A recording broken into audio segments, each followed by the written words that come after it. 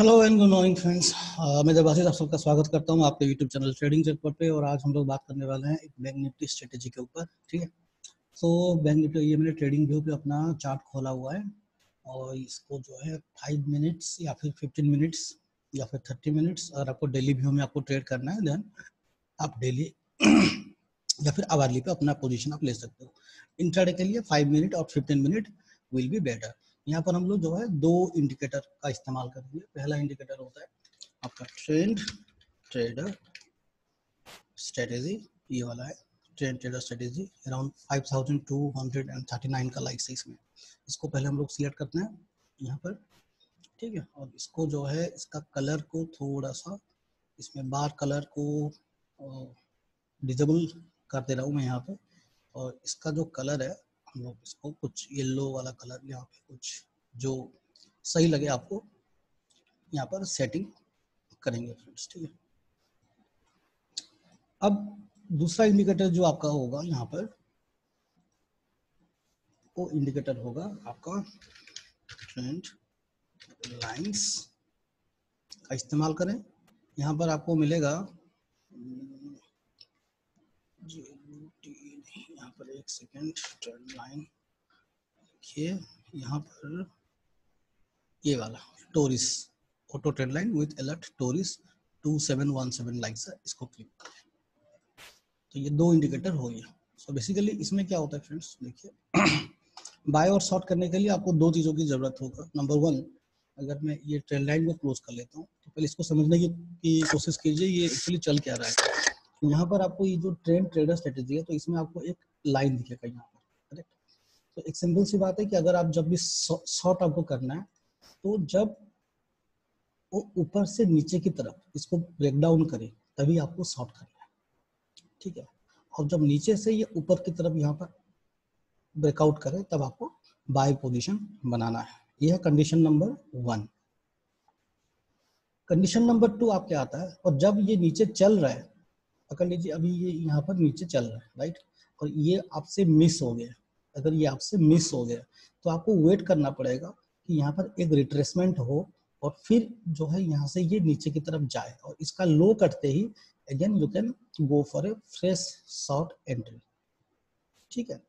लेकिन आपको वेट करना है फॉर द रिट्रेसमेंट अब बात करते हैं दूसरा इंडिकेटर ट्रेंड लाइन जो है, ये क्या करता है? ये जहाँ पर भी एक ब्रेकआउट होता है ये आपको इंडिकेट करता है। अब जैसे कि, देखिए, अब यहाँ पर देखिए, आपको यह दिखाता हूँ।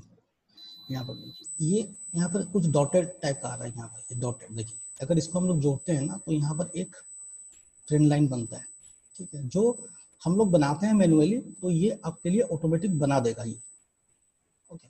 और यहाँ पर एक ब्रेकडाउन है। यहाँ पर एक ब्रेकडाउन है। और जो हमारा पहला कंडीशन था, इस लाइन के भी नीचे आपको ये मिल रहा है। तो जब भी ये इस लाइन के नीचे आए और वहाँ पर आपको इस तरह का एक शॉर्ट सिग्नल दिखाई दे, तब आपका एंट्री और भी ज़्यादा बढ़िया और परफेक्ट माना जाएगा। यहाँ पर देखिए, अभी ये तो हो गया जो सबसे सिंपल है, ठीक आपको शायद समझ में आ गया आ गया होगा कि आपको आपको दो कंडीशंस चाहिए होते हैं। एक जब ये लाइन के नीचे की तरफ़ आए, और अगर उसी वक्त अगर आपको एक शॉर्ट या फिर बाय का सिंगल मिल जाए तो उसे आप बेहतरीन एंट्री मान सकते हैं।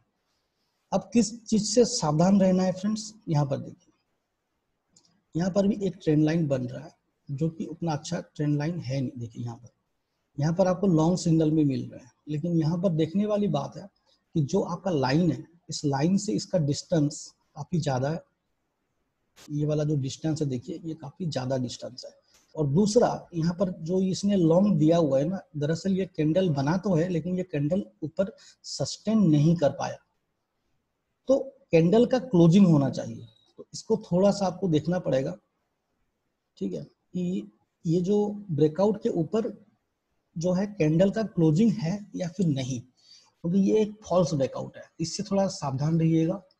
क्योंकि देखिए ये ऊपर तक तो गया, लेकिन ऊपर सस्टेन नहीं कर पाया और नीचे आ गया। तो यहाँ पर आपको एंट्री नहीं करना है। आपको ध्यान रखना है, जब वो फिर से इस लाइन के नीचे आए या फिर इस लाइन से वो आइधर फिर ऊपर की तरफ़ जाएगा, तब आपको बाय पोजीशन बनाना है, या फिर ये नीचे की तरफ़ आएगा और उसका जो लो करते ही आपको अपना शॉर्ट पोजीशन बना सकते हो, या फिर जब आपको यहाँ पर शॉर्ट का सिग्नल मिल रहा है, आप यहाँ पर अपना पोजीशन बना सकते हो। इस तरह से। इसको थोड़ा सा बैक टेस्ट कीजिए ये काफ़ी बढ़िया स्ट्रेटेजी आपको, काफ़ी सिंपल और बहुत ही बढ़िया स्ट्रेटेजी है। अगर आप इसको बैक टेस्ट करोगे तो आपको इतने बढ़िया बढ़िया एंट्री पॉइंट्स मिलेंगे। बेसिकली इन स्विंग अगर मैं बात करूँ तो आपको काफ़ी बढ़िया पॉइंट्स यहाँ पर मिलेंगे स्विंग के लिए। ठीक है? Both at the up side and at the short side ठीक है तो मिलते हैं कल के वीडियो में। तब तक के लिए thank you very much good bye जय हिंद